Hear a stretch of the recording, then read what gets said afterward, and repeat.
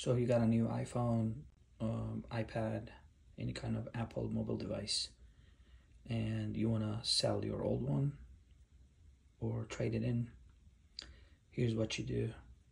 First of all, look for Find My to make sure that this is the screen you get. Sign in. That means you're already signed out of that. This is great news. You turned your Find My, which uh, one of mm. the requirements if you're trading in or selling, it's safer. And you go to settings, general, scroll all the way down. See that it says transfer reset iPhone. You click on that and you select the second option. It says erase all content and settings. When you hit that, it's going to tell you how much data you got in there. I only got the operating system. I reset the phone before.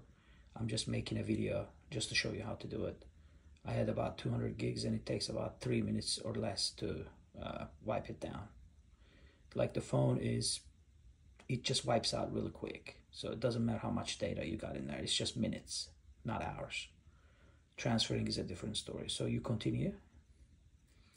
It's gonna probably ask you multiple times. Like I said, erase. And now the iPhone is getting erased.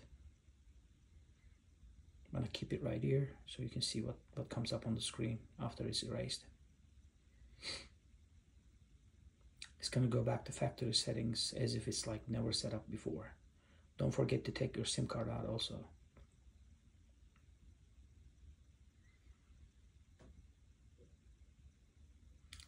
And Apple sign comes on. I'm not touching any buttons. Phone is doing what it's doing after I said erase, erase a couple times.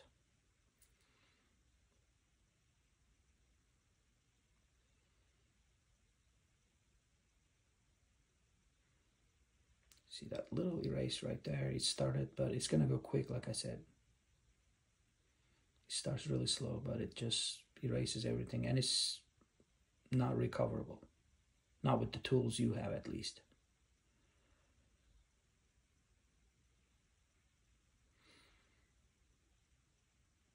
This is exactly how much is taken with zero data on it. It was just 12 gigs on it. A real-time video. There you go. So this is the screen you want to get to when I swipe. This phone is spanking new factory settings. The next person will pick it up, turn it on, and this is the screen they're gonna get. Start with English or whatever the language, and then next, next.